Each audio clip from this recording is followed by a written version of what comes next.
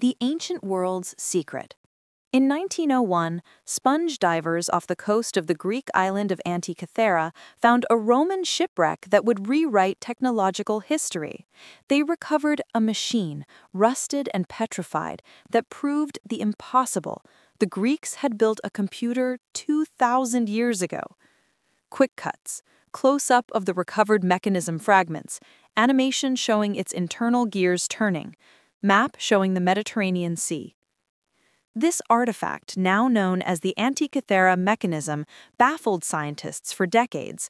Initial studies by classicists like Derek J. de Solla Price confirmed it was not a sculpture or a clock, but a highly complex mechanical calculator. It contained at least 30 hand-cut bronze gears, a level of precision previously thought impossible before the 14th century. Its purpose? To predict celestial movements.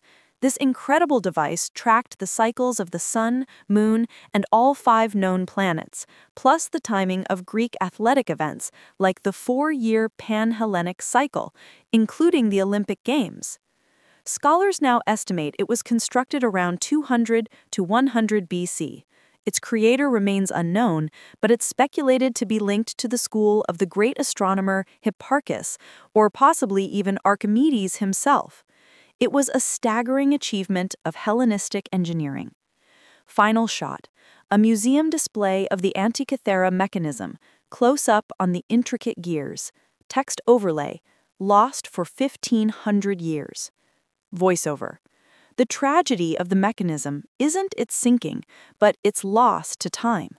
After the collapse of the Roman Empire, this technology simply vanished.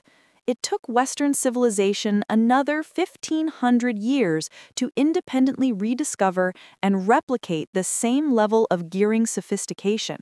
The ancient world had the computer, we simply forgot how to use it.